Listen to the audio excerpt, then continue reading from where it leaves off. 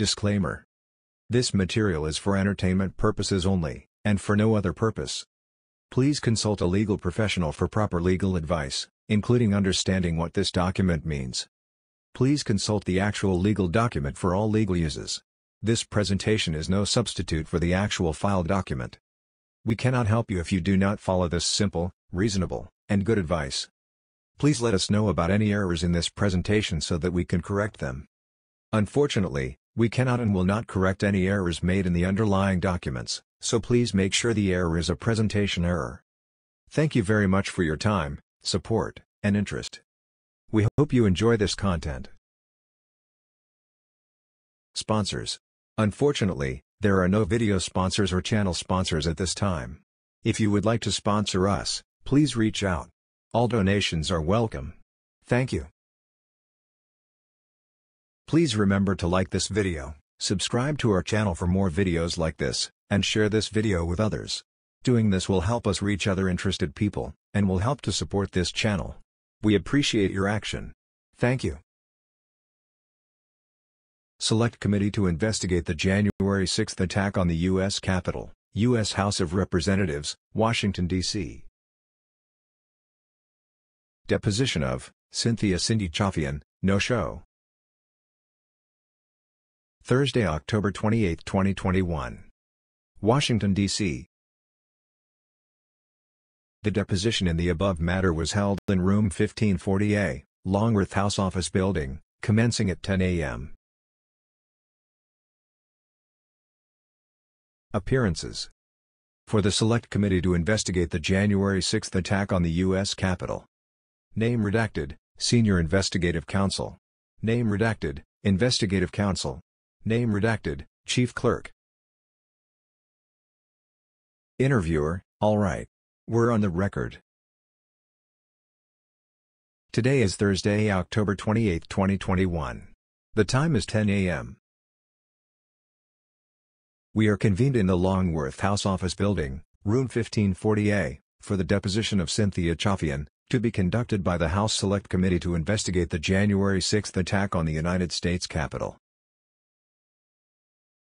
The person transcribing this proceeding is the House stenographer and a notary public authorized to administer oaths.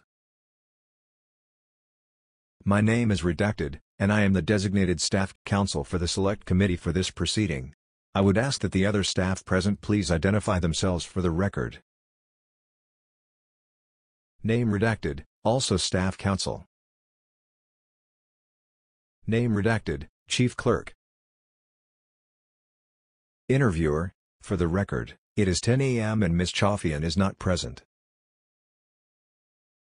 On September 29, 2021, Chairman Benny Thompson issued a subpoena to Ms. Chafian, both to produce documents by October 13, 2021, and to testify at a deposition today, October 28, at 10 a.m. The subpoena is in connection with the Select Committee's investigation into the facts, circumstances, and causes of the January 6 attack and issues relating to the peaceful transition of power, in order to identify and evaluate lessons learned, and to recommend to the House and its relevant committees corrective laws, policies, procedures, rules, or regulations. This inquiry includes examination of how various individuals, to include Ms. Chafian, and entities coordinated their activities leading up to the events of January 6, 2021. Ms. Chafian has not produced any documents or appeared today to testify. I will mark as Exhibit 1 and enter into the record the Select Committee subpoena to Ms. Chafian, included with which are the materials that accompanied the subpoena, which include a letter from the chairman, a document schedule with accompanying production instructions, and a copy of the deposition rules. Chafian Exhibit Number 1 was marked for identification. Interviewer, I will mark as Exhibit 2 and enter into the record an email exchange between name redacted and Ms. Chafian from September 28, 2021, until October 18, 2021. Chafian Exhibit Number 2 was marked for identification. Interviewer, in sum and substance, the email exchange reflects as follows. On September 28, Name redacted contacted Ms. Chafian via email to ask whether she would accept service of the subpoena via email. Ms. Chafian responded and confirmed she would accept service via email, and advised she was in the process of securing counsel. The following day, September 29, at approximately 5.18 p.m., sent the subpoena and the accompanying materials in Exhibit 1 to Ms. Chafian via email.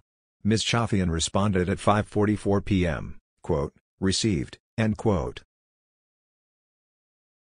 Eight days later, on October 7, emailed Ms. Chafian to inquire whether she had retained an attorney.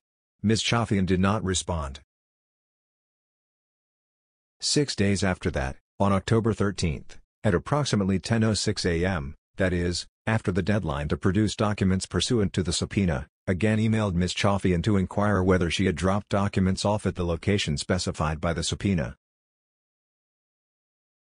Ms. Chafian responded at 10.29 am that she had not produced documents and that she had not yet retained an attorney.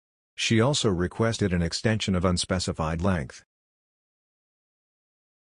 Name Redacted responded at 11.58 am with an extension of the document production deadline until October 18, 2021. At 10 a.m. Name Redacted also explained that this extended deadline was not contingent on Ms. Chafian retaining an attorney and invited Ms. Chafian or her counsel to call to discuss whether any further extension of the deadline would be necessary as a reasonable scheduling accommodation.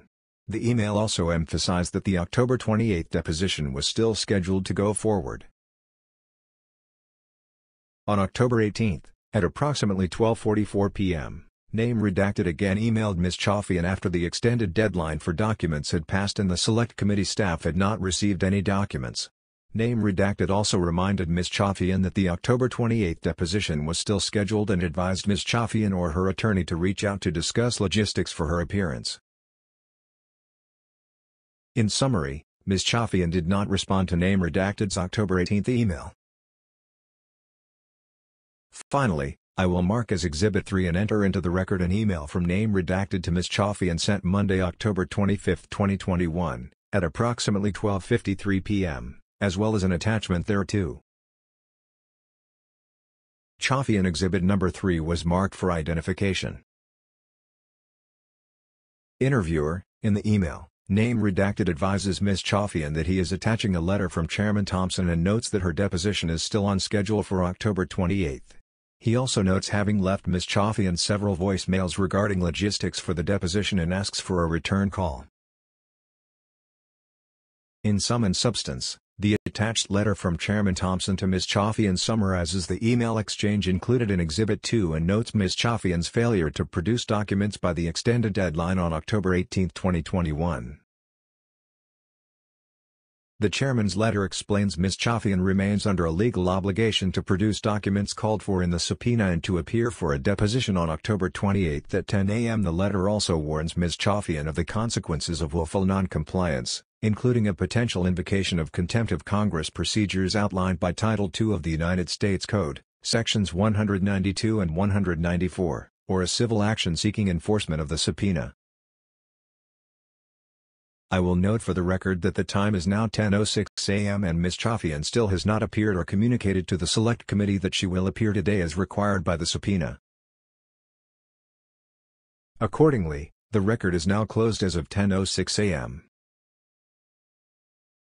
Whereupon, at 10.06 a.m., the deposition was concluded.